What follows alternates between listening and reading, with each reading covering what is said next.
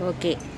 What do you suppose a bee sat on my nose? Then what do you think he gave me a wink and said, I beg your pardon.